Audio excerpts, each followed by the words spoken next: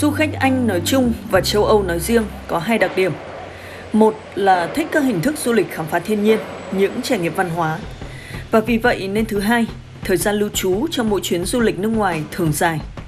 Thống kê cho thấy ở những điểm đến xa xôi tại châu Á, thời gian trung bình cho mỗi chuyến đi của người Anh có thể kéo dài đến 35-40 ngày. Cùng với đó là mức chi tiêu không hề nhỏ cho du lịch. Ước tính mức chi năm 2018 khoảng 48 tỷ bảng.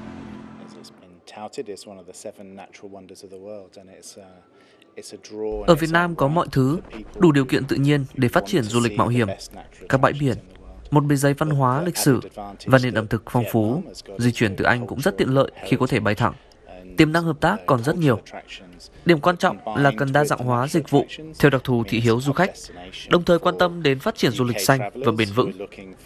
Chúng tôi đang triển khai các dịch vụ theo hướng này, chủ yếu phối hợp với các đơn vị nhỏ ở địa phương để đảm bảo địa phương và cộng đồng mới là những người được hưởng lợi chính từ kinh doanh du lịch. Đặc thù về tự nhiên của Việt Nam được cho là đáp ứng vừa vặn những kỳ vọng của du khách Anh cho một điểm đến dài ngày. Nhưng theo thống kê năm 2018, khách từ Anh mới chỉ chiếm chưa đầy 6% trong tổng lượt khách nước ngoài. Bản thân các địa phương cho rằng đây thực sự là một thị trường với những tiềm năng để ngỏ cho ngành du lịch. Khách du lịch Anh là khách có tiềm năng rất là lớn trong cái ờ, ngày lưu trú rồi ờ, chi tiêu. Thời gian gần đây thì chúng tôi có rất nhiều các hoạt động chủ ờ, chủ động trong công tác giới thiệu tiếp cận các cái giới thiệu điểm đến của mình với các nước sẽ tiến tới các cái thị trường khách mà có cái dòng khách nhiều, chi tiêu cao. Ngoài cái việc à, khai thác thì chúng tôi đặt ra ngay từ ban đầu các cái chiến lược để bảo vệ đó.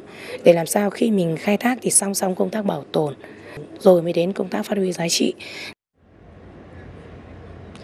Cách đi du lịch của người Anh nói vui đúng nghĩa là thích lên rừng xuống biển. Bay một chặng dài mười mấy tiếng ra Việt Nam, họ không ngại gì việc ở lại cả tháng để khám phá trọn vẹn vùng đất mà họ đến. Vấn đề chỉ còn là chúng ta có đủ thú vị để giữ chân hay không. Điều này tất nhiên phụ thuộc vào dịch vụ du lịch chúng ta có và nhìn rộng hơn là vào sự chủ động tìm hiểu thị hiếu khách hàng, chủ động đánh giá tiềm năng thị trường của bản thân những nơi làm du lịch.